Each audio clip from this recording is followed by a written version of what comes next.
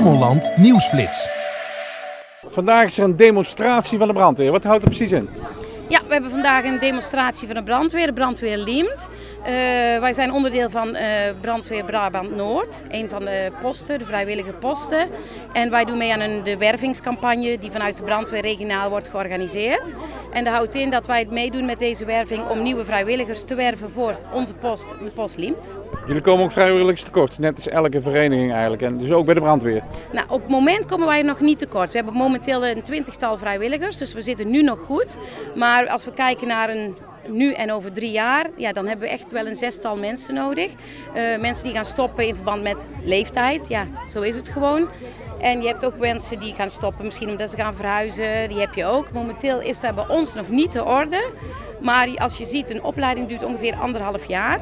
De mensen moeten eerst nog gekeurd worden en die moeten ingeschreven worden voor de opleiding. En dan ben je zo twee jaar verder. Dus we willen voor zijn, we willen voorkomen dat we over twee jaar inderdaad mensen tekort hebben. Ja, maar iedereen als je klein is, die wil toch graag brandweerman worden? Ja, dat klopt. Als je klein bent wil je allemaal brandweer worden. Maar op een gegeven moment ga je naar school, die gaat studeren.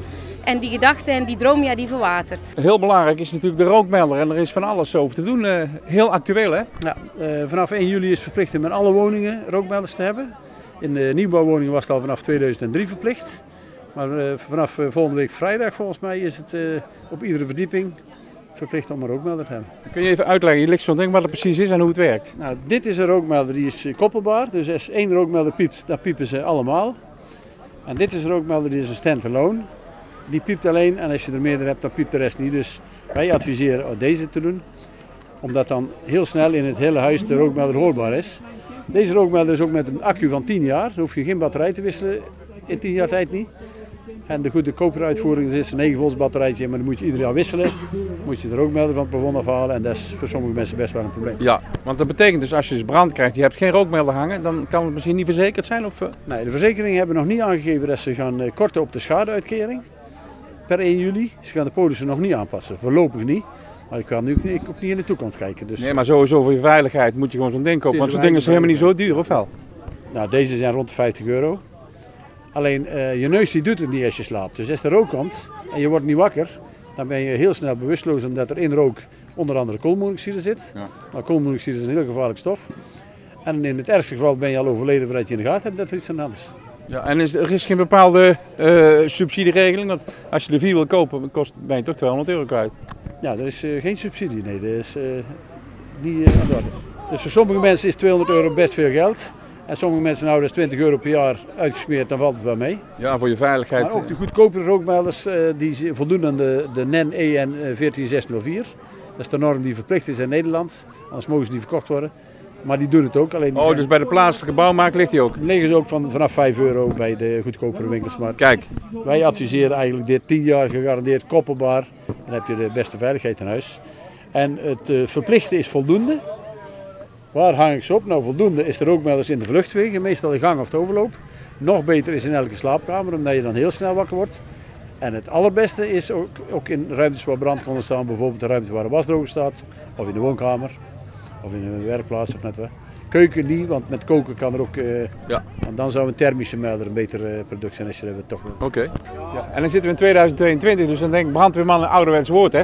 Brandweervrouwen zijn er die ook? Ja, die zijn er ook, zoals je kunt zien. Ik ben inmiddels 21 jaar brandweervrouw, zoals ze dat noemen. Uh, het percentage is wel klein. Als ik kijk binnen onze regio hebben we volgens mij ongeveer 950 vrijwilligers, waarvan er 50 vrouwen zijn. Dat is veel te weinig. Veel te weinig, inderdaad. Uh, we maken ook geen verschil, vrouw of man, uh, wie je ook bent. Je bent altijd welkom. Wij zeggen altijd, we hebben mensen zoals jij nodig, jij en ik. En het is wel zo, de taken die je doet, dat maakt niet uit. Dus je, bent, je gaat een brand blussen, je gaat een auto openknippen. Daar maakt, ja, in de werkzaamheden zit geen verschil. Iemand die niet hoort of slechthorend is en die doet zijn hoorpraat s'nachts uit, die hoort er ook melder niet. Dan hebben ze dit voor ontwikkeld. In dagsituatie kun je dit bij bijvoorbeeld naast de tv zetten of waar het goed zichtbaar is. Dan gaat de lamp branden. En dit apparaatje leg je onder het kussen. En dan krijg je dit. Dan begint er een lamp te flitsen. En te trillen, dan word je wakker van trillen. Oké. En hier zit wel subsidie op, of subsidie niet, maar dat kan door de zorgverzekering vergoed worden als je voldoende slecht wordt. Uh, ik denk dan als brandweerman, brandweervrouw, moet je wel 24-7 beschikbaar zijn eigenlijk. Ja, het is 24-7 en 365 dagen inderdaad per jaar. Maar we noemen het nog steeds vrijwilliger. En vrijwilliger dat wil zeggen, je rukt met zes mensen uit op een TS, op een tankauto-spuit. En je hebt ongeveer een 18 mensen die in een korps zitten. Dus op basis van een 300 procent uh, heb je de mensen in huis, zal ik maar zeggen.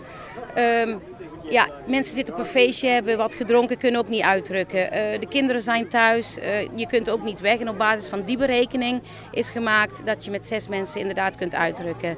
Wat wel steeds lastiger is, is inderdaad om mensen voor overdag aan te komen. Uh, in grote steden heb je werkgelegenheid en daar zijn misschien meer mensen.